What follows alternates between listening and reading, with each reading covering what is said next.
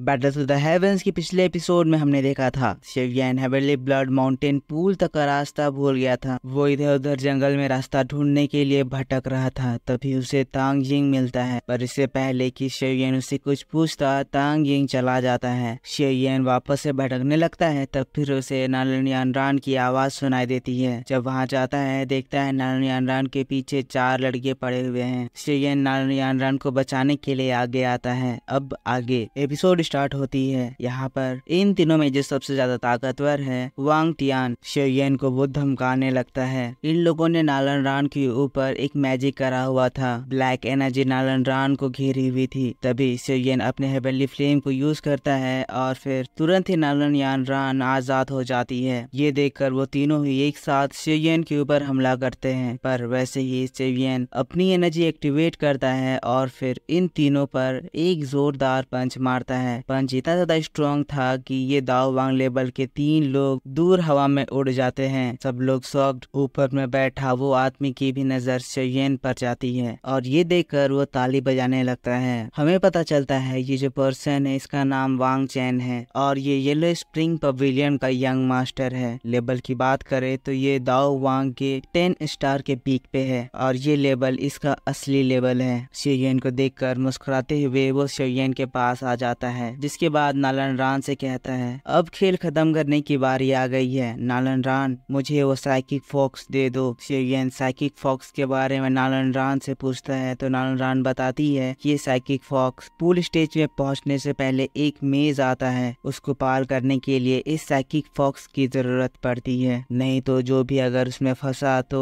जब तक माउंटेन का टाइड ओवर नहीं होता है, वो यहाँ से बाहर नहीं निकल पाएगा। वो जगह बहुत ही ज़्यादा ताकतवर और डेंजर डेंजरस थी शेयन भी उससे शायद अपनी स्पिरिचुअल स्ट्रेंथ की बदौलत नहीं निकल पाता। पर अभी शेयन कुछ भी नहीं कहता है और फिर उस वांग चैन को जवाब देता है, भूल जाओ, यहाँ से चले जाओ। लेकिन तब ये वांग चैन अपना परिचय देता है। वो ये स्प्रिंग पवेलियन का वांग चैन है, कि जो तीन लोग इसके साथ है, ये उसके क्लैन के नहीं है। वांग चैन को पोल स्टेज में एक पर्सन ने इन तीनों को सही सलामत वहाँ तक ले जाने की बात कही थी। वांग चैन को तो उस मेज से पार होने का भी रास्ता पता है, पर इन तीनों को इस बारे में नहीं पता है, इसीलिए वो नालन यानरान से उसका साइकिक फोक्स लूट रहे हैं। नालन यानरान जब वांग चेन के बारे में जानती है, वो बहुत ही ज़्यादा घबरा जाती है, चेयन से कहती है, चेयन, ये आदमी बहुत ज़्यादा ताकतवर है, ये स्पेशली लोगों को मारने के लिए फ़ेमस है। मैंने तो सुना है कि ये एक दाओ जोंग से भी हेड टू हेड फाइट कर सकता है, लेकिन फिर चेयन नालन यानरान से पूछता है तो क्या तुम्हें मेज से पार होने का रास्ता पता है? नारन यानरान कहती है, नहीं। तो फिर शेयन कॉन्फिडेंट होकर नारायण रान से कहता है, तुम चिंता मत करो, मैं इसको झेल लूँगा। अब इतना कहकर शेयन अपने रूलर स्वॉर्ड को बाहर निकाल लेता है और फिर वांग चैन के और करीब चला जाता है। तो वांग चैन शेयन के ऊपर हमला करता है। वांग चैन का स्पेशल हमला ब्लैक हैंड दोनों ही एक दूसरे के ऊपर अटैक करते हैं और जैसे ही अटैक टकराता है, बहुत ही भयंकर धमाका होता है। वांग चैन जो अपने डार्क एट्रीब्यूट का यूज़ करके ब्लैक हैंड क्रिएट करा था शेवियन इस ब्लैक हैंड को डिस्ट्रॉय करने के लिए अपना स्ट्रेंज फ्लेम यूज़ करा था, जिसको देखकर वांग चैन भी सॉफ्ट हो जाता है। एक हेवनली फ्लेम तो वांग चैन के पास भी नहीं है, इसलिए वांग चैन तुरंत ही वहाँ से पीछे हट जाता है, कहता है, अगर तुम पूल स्टेज तक पहुँच गए तो हम लोग वहाँ पर दोबारा मुलाकात करेंगे। जिसके बाद फोग में वो गायब हो जाता है। और फिर से हम लोगों को शेरियन और नालन रान को दिखाया जाता है। शेरियन जो की नालन रान से पूछता है, तुम ठीक तो ये बात सुनकर नलन बहुत ही इमोशनल हो जाती है। उसे वो पुराने दिन याद आ जाते हैं जब शेरियन की वजह से उन्हें जियामा एम्पायर छोड़ना पड़ा था। पर शेरियन ने अभी नालन यानरान की हेल्प करी इसीलिए नालन यानरान शेरियन से उतना गुस्सा नहीं है। शेरियन जिसके बाद उसको यून यून के बारे में पूछता है तो नालन यानरान कहती है, टीचर, अभी कहीं तो चली गई है, जिसकी वजह से मैं यहाँ पर ट्रेनिंग करने के लिए आई हूँ। पर उन्होंने मुझे स्पेशली कहा है कि अगर तुम मुझे मिले तो मैं तुम्हें उनके लोकेशन के बारे में ना बताओ। सेवियन थोड़ा सा एम्बेरस होता है, कहता है, अगर वो ठीक है तो सब ठीक है। जिसके बाद वो लोग उस मेज की ओर जाने लगते हैं। जब वो लोग वहाँ पर पहुँचते हैं, एक वुडन डोर होता है, जहाँ पर दस लोग ऑलरेडी पहुँचे हुए हैं। ये दस लोग तब नारायण के पास वो व्हाइट फॉक्स को देखते हैं। देखकर इन लोगों के मन में तुरंत उसको लूटने की इंटेंशन बन जाती है, क्योंकि इन लोगों को भी उस रास्ते को पार करने का तरीका नहीं पता है। लेकिन तभी ये देखते हुए शेगेन अपने दाओ वांग के नाइन स्टार लेबल की पावर एक्टिवेट करता है, कहता है, जो भी हमारे नज़दीक आएगा, वो मारा जाएगा। पर जब नलन यान, रान और शेगेन वहाँ तक पहुँचते हैं कि दसों लोग एक साथ मिलकर इन लोगों के ऊपर हमला कर देते हैं। फिर क्या था? शेगेन इन लोगों को धोने लगता है। ये सभी लोग दाओ वांग के फोर स्टार और three star two star level के हैं। शेगेन इन लोगों से लड़ रहा है, पर इससे लड़ने में शेगेन को दिक्कत हो रही है, क्योंकि इन लोगों का नंबर ज़्यादा है और इनके पास टाइम भी बहुत कम है। और उधर हमें पूल स्टेज में दिखाया जाता है, जहाँ गोल्ड स्वेलविंग मॉस ट्राइब का लीडर इन लोगों का टेस्ट लेने के लिए आ गया है। समय खत्म होने वाला है, लेकिन किसी तरह सेगियन लास्ट मूवमेंट में नारायण जानरान के साथ वहाँ एंट्री लेता है। और इसी बात के साथ बैटल टू द हेवेंस का ये प्रीव्यू एक्सप्लेनेशन इस जगह खत्म होता है। आई होप आपको ये वीडियो पसंद आया होगा। अगर पसंद आया है तो प्लीज़ इस वीडियो पे एक लाइक करना।